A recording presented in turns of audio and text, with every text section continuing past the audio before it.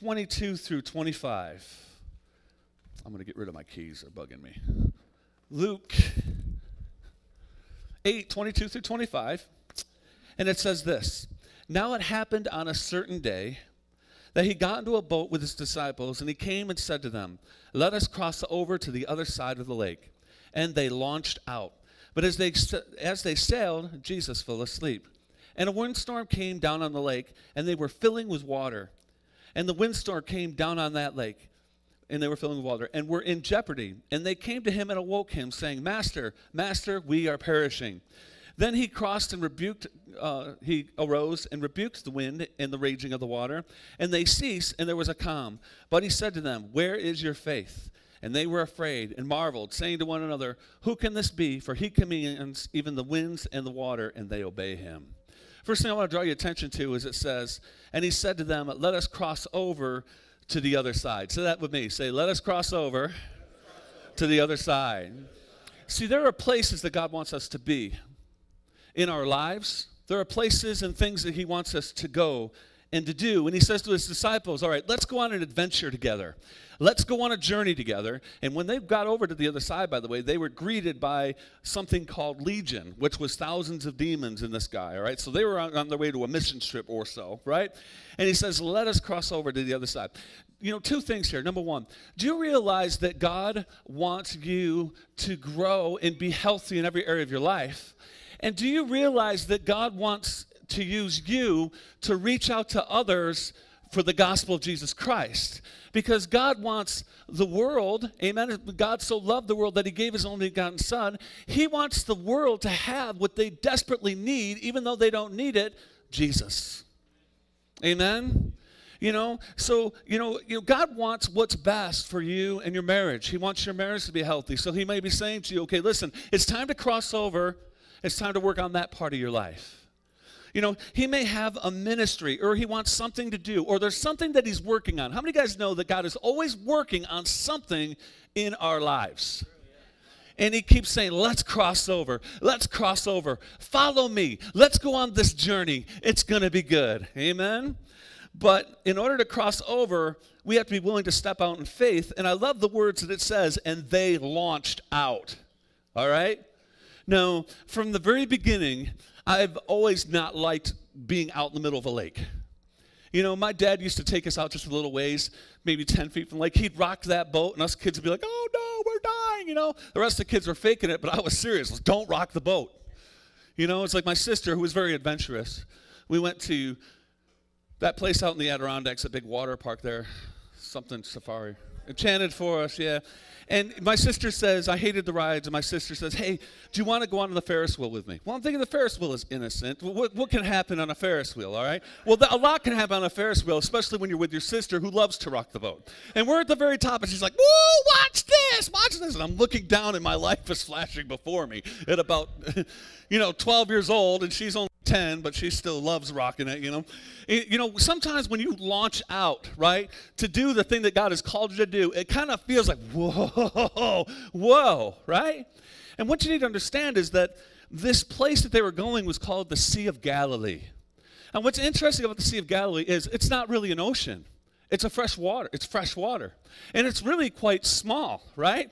But what's interesting, and I'm going to read this uh, to you because I did some research on the Sea of Galilee. This is interesting. Storms on the uh, Sea of Galilee result from differences in temperatures between the seacoast and the mountains beyond. The Sea of Galilee, uh, Galilee lies 680 feet, ready for this? Below sea level. It is bounded and surrounded by hills, especially on the east side where they reach 2,000 feet high.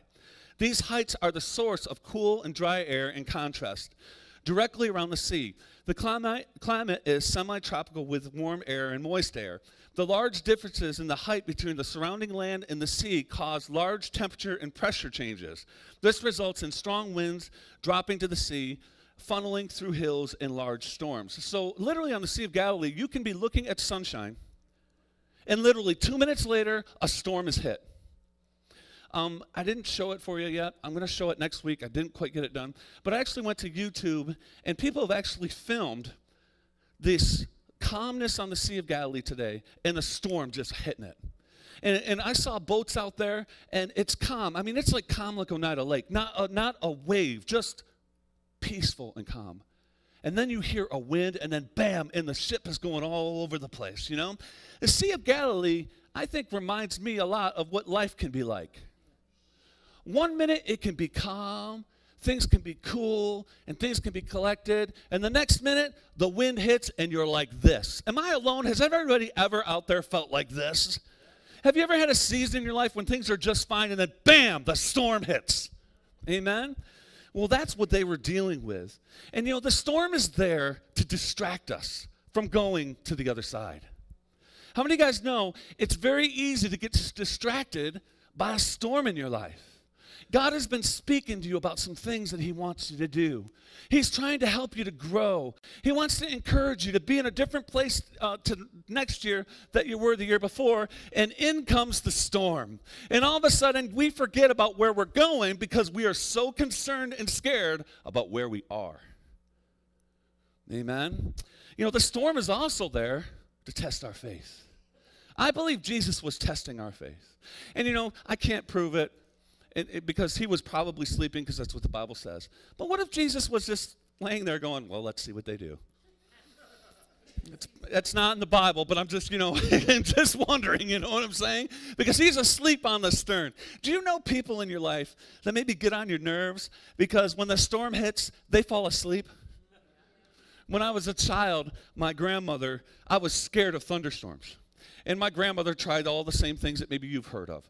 God is bowling. But God is not bowling, Grandma. I am 10 years old. you know? Oh, he's moving his furniture around. Oh, come on, Grandma. Me and you both know God doesn't have furniture. Well, whatever, I don't know. And so what she would do was she would she would say, you know what? Why don't why don't you go and lay down and I'll read your story or something. To this day, and every time a thunderstorm would hit during the day when we were that young and we were home, grandma would say, Let's go read a story and just relax. To this day, the sound of thunderstorms puts me to sleep.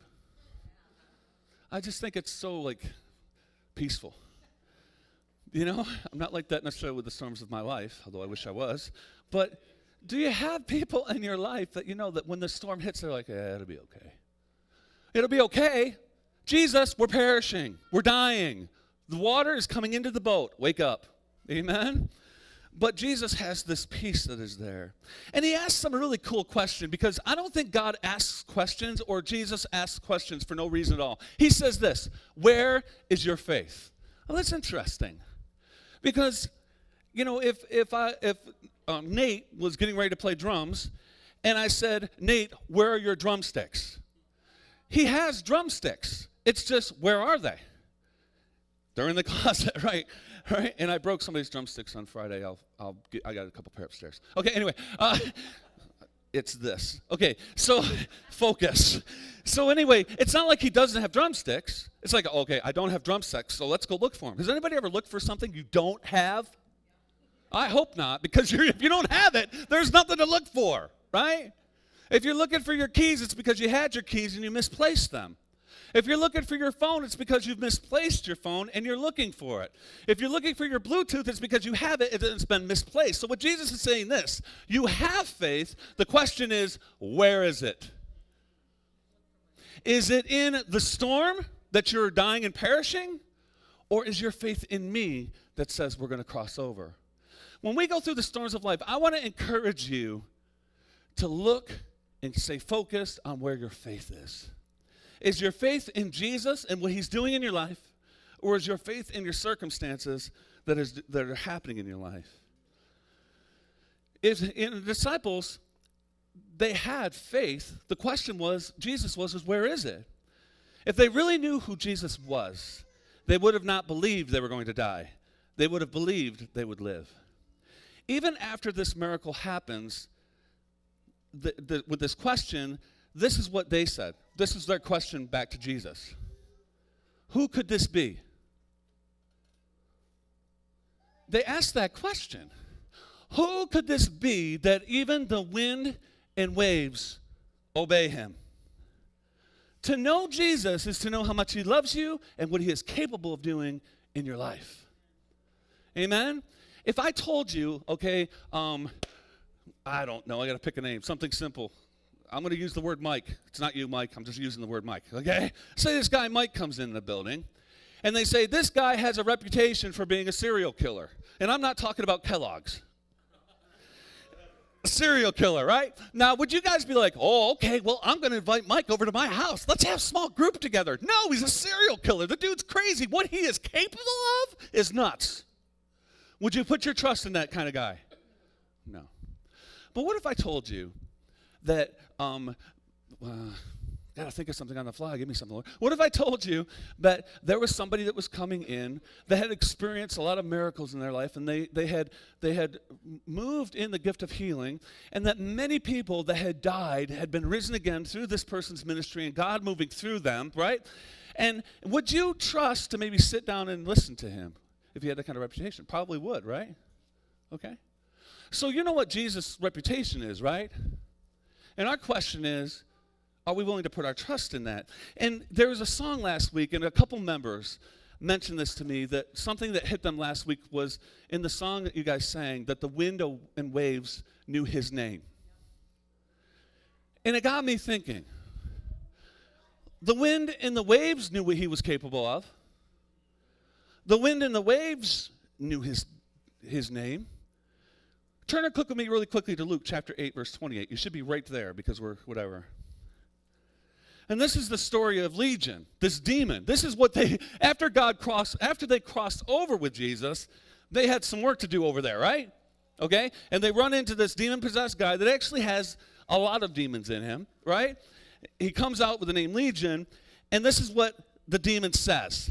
Notice Jesus hasn't revealed himself to this demon. He doesn't say, okay, listen, I'm Jesus, the Son of God, you're going to listen to me. He doesn't do that. He just approaches him, and as he approaches him, it says this When he saw Jesus, he cried out and fell down before him, and with a loud voice said, What have I to do with you, Jesus, the Son of the Most High God? I beg you, do not torment me. The demon knew who Jesus was. He knew that he was the Son of the Most High God. Jesus had introduced himself, but he knew. How about Matthew chapter 8, verses 1 through 4? One of my favorite scriptures on healing. Matthew chapter 8, verses 1 through 4. The healing of the leper. Leprosy had only been healed once in the history of the church, once. That's it. No other time had leprosy ever been healed. And so Jesus, and we've talked about this before, I'm not going to get into it, but Jesus does some things that are against the rules. He touches the leper. Hello, Jesus, don't touch the leper. You're going to get leprosy. He approaches the leper. You're supposed to stay a certain distance away from him. But Jesus wasn't afraid of leprosy because leprosy knew his name. Because in Luke 8 28, or uh, Luke, uh, Matthew 8 1 through 4, it says this When he had come down from the mountain, great multitudes followed him. And behold, a leper came and worshiped him, saying, Lord, if you are willing, you can make me clean. Jesus put his hand on him, touched him, saying, I am willing, be cleansed. And immediately, I've heard that a lot the last few weeks. Somebody say immediately. When Jesus touched him, something happened. Amen? Immediately, the Bible says, the leprosy was cleansed. And Jesus said to him, See that you tell no one, but go your way, show yourself to the priests, and the gift of Moses commanded as a testimony to them.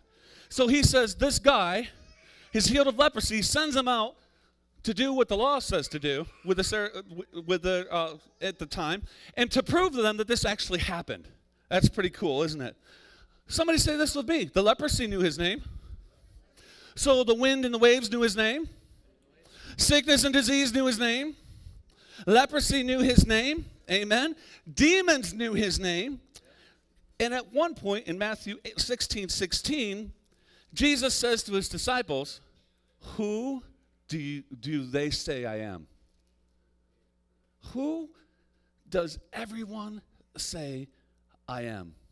Well, it's easy because you can speak for somebody else. It's not like you're talking about what you believe, it's about what the people around you believe. But then Jesus takes it deeper. Who do you say I am? And Peter rises up and he says, you are the Christ, the Son of the living God. Peter knew who Jesus was. My question to you is this as we end Do you know his name?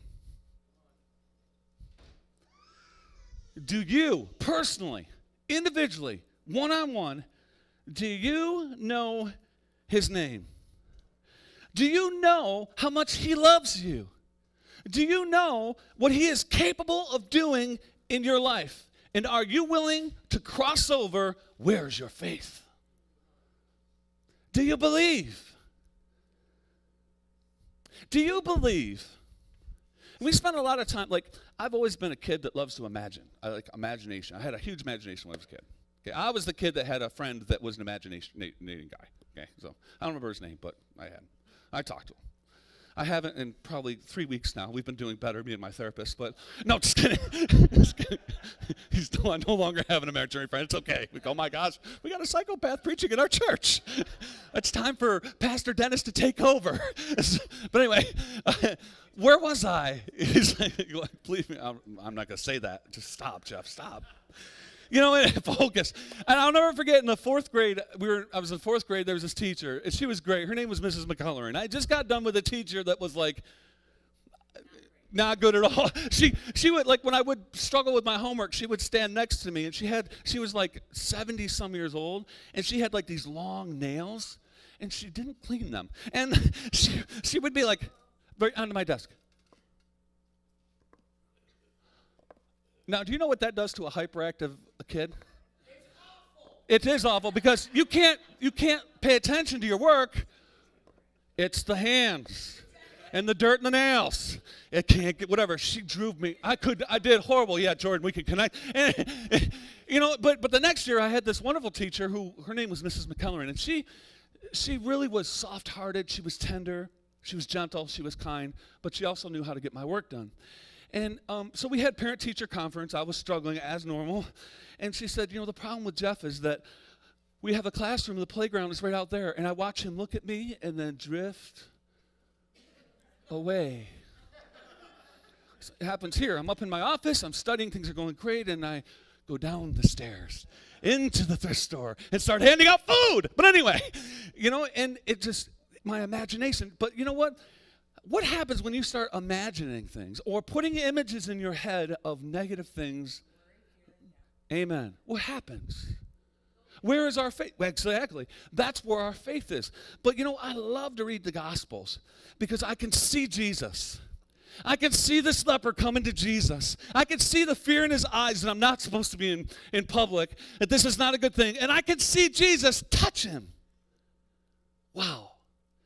And when I see that, I think, if Jesus can heal a man of leprosy, Jesus can deal with me. Where is our faith? What kinds of images are you putting in your head? Because you can be scrolling through Facebook and things can be great, and all of a sudden there's something put there, and your, your head just goes right out the door. Amen? Where is your faith? If you think, well, I'm a Christian, and because I'm a Christian, storms just won't come. Well, a couple things here. You're crazy. Number two, um, uh, denial is not just a river in Egypt. Um, the elevator might not go to the top, and um, all that stuff, because that's craziness. How many guys know when, when how many here and be careful because we're going to set up some some counseling things, deep counseling. You're going to meet with me three or four times a week for five or six hours a day. Uh, believe that when you got saved, right? That everything was going to be perfect and you, and you experience that. That since you got saved, nothing's ever happened to you. No way, because you know what? You got a bullseye on your back right now. Church on the Rock has a bullseye on its back, and I love it. The devil wants to, to stop things from happening here because people are getting saved. Amen. Just because you're saved, it doesn't mean the storms won't happen in your life. In fact, we we have much in common together because storms have happened.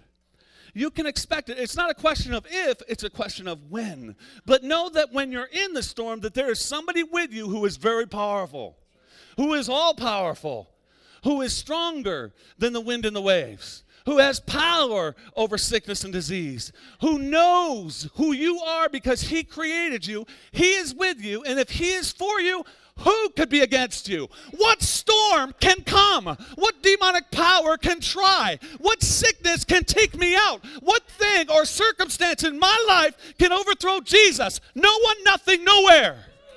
You are more than you know you are because Jesus is in you. God is for you in the storm. So when the storms come, you can stand up to that storm and say, In the name of Jesus, in the mighty and awesome name of Jesus, sickness, you've got to go. In the name of Jesus, poverty, you got to go. In the name of Jesus, this circumstance that is happening to me in my life that is not in accordance to the Word of God, you can't stay here. Breathe. you know, I'll share one quick story with you. And I wish that I could tell you that I hit a home run every time a storm hit in my life, but I have not. I have in my life forgotten how powerful Jesus really is. I have looked at the disciples in the Gospels and said, Peter, how could you possibly tell Jesus he's not going to the cross? How many times did Jesus say to the disciples, Where's your faith? That you live in doubt and unbelief. How could you do that? You walked with the Son of God. Easy. I walked with the Son of God. And sometimes I don't know his name. But one time that I was ready, kind of, I had worked, we had worked really hard. I'd been wanting some transportation to the church you know? So i was believing god for some wheels right? It was so we were saving up for a, um, a truck okay? And we were getting really close. I was ready to go and buy this truck. And there's this windstorm that comes and we didn't really notice we thought maybe there was some minor damage on the roof but when the neighbor across the street says back up here we could see that a quarter a half the roof was folded in half on the top and I'm thinking, how could this happen? And then, and then, so we went up there, and Amy's very great on heights. She's jumping all over the place and just fooling around. I'm up there like, I'm gonna, I feel like I'm gonna die, okay, because I just don't do well with heights. I'm up there, and I'm thinking, you know, and I thought to myself, devil, who do you think you are? Me and Amy have given when it hurts. We're doing our best to budget. I've been walking to work for, an, uh, for about a year now. Two years now, details, sorry. Two years now. What, who do you think you are? And so it's not going to happen. This roof is going to get fixed, and we're not paying for it. On the inside, I'm thinking, we're not paying for this, right? So we get the insurance thing to say that we'll pay for it, which is great. But then we were going to hire some people to do it. And this one person that um, we were looking at maybe doing it happened to be a youth pastor. And I thought, oh, let's stick this in the devil's eye. Not only is the roof going to get fixed, but I'm going to bless, we're going to bless the youth pastor who's in the ministry with some money to fix the roof. And then he called me and he said, Jeff, listen, um, I got a friend who doesn't know Jesus. I was wondering if maybe he could work on the roof with me and I could talk to him about Jesus. Oh, this is going to be great. Let's stick it in the devil's eye one more time. Let's hope and pray that somebody gets saved on my roof. You send a storm my way, and somebody's going to get saved on my roof. He didn't get saved, but he got ministered to. Well, you know, and sometimes I haven't done that. Sometimes I thought, oh my gosh, oh no. And my focus has been on the storm instead of on Jesus. I want to encourage you to keep your eyes on Jesus. How big is the mountain? How big is your faith in God? How big is the storm? How big is your faith in God? I want you to ask yourself, where is my faith? Is my faith in Jesus or is my faith in the storm? Can you all stand up with me?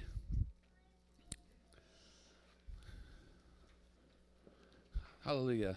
And I just want to want to pray for you. And if you could play some worship music, Pastor Val, that'd be great. Awesome. Absolutely. So, in, hello, check, check, check. Hello, hello.